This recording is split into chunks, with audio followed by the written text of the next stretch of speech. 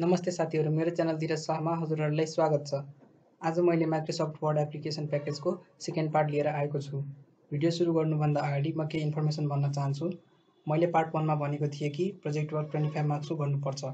तर त्यो twenty five marks दुई पार्टमा डिभाइड गरिएको हुन्छ जसमा टेन मार्क्स एक्सटर्नल टिचरले दिन्छ र फिफ्टिन मार्क्स इन्टर्नल टिचरले हजुरहरूले यो प्रोजेक्ट वर्क गरे बापत इन्टर्नलबाट फिफ्टिन मार्क्स पाउनुहुन्छ र प्र्याक्टिकल भाइभा गरेर एक्सटर्नलबाट टेन मार्क्स पाउनुहुन्छ। त्यसैले हजुरहरूले यो प्रोजेक्ट बुझेर गर्नुभयो भने टेन मार्क्स अब्टेन गर्न एक्सटर्नलबाट गाह्रो हुने छैन।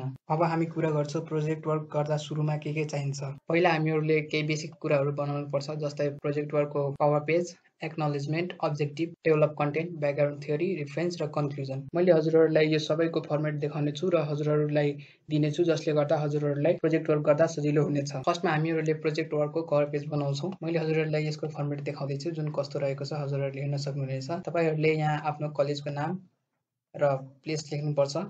त्यसपछि हजुरहरूले कलेजको लोगो राख्नुपर्छ यहाँ। कलेजको लोगो राखिसकेपछि हजुरहरूले आफ्नो नाम सेक्सन र डेट लेख्नुपर्छ र हजुरहरूले बुझाउने टिचरको नाम यहाँ लेख्नुपर्छ।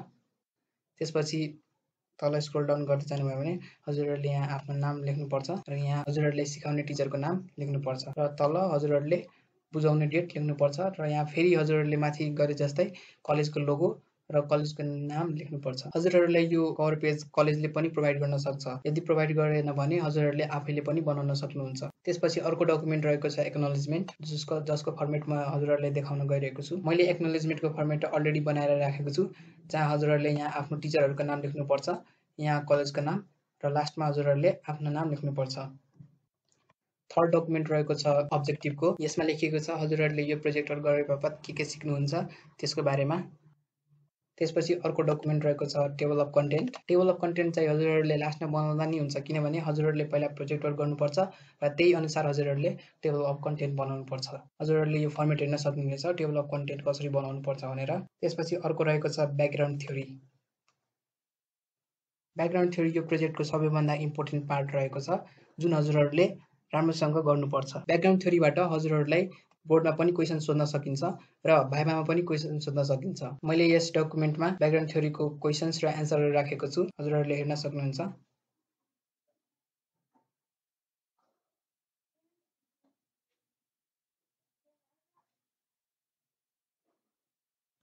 त्यसपछि रहेको छ अर्को डकुमेन्ट रिफरेन्स हजुरहरूले यसमा प्रोजेक्ट वर्क कहाँबाट गर्नुभयो र ब्याकग्राउन्ड थ्योरीहरू कहाँबाट लेख्नुभयो त्यसको लिङ्कहरू यहाँ राख्नु पर्नेछ। त्यसपछि लास्ट रहेको छ कन्क्लुजन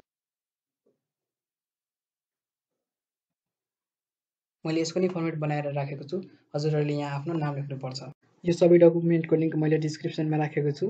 हजुरहरूले डाउनलोड गर्न सक्नुहुन्छ र एडिट गरेर आफ्नो प्रोजेक्टहरूको लागि युज गर्न सक्नुहुन्छ। आजको भिडियोमा यति नै। अब हामी अर्को भिडियोमा कुरा गर्नेछौँ। एमएस वर्ड युज गरेर सिबी कसरी बनाउने।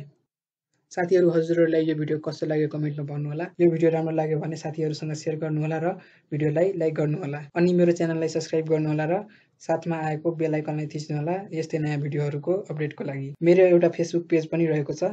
हजुरहरूले गएर लाइक गरिदिनु होला त्यहाँ पनि मेरो नयाँ भिडियोको हरेक अपडेट पाउनुहुन्छ।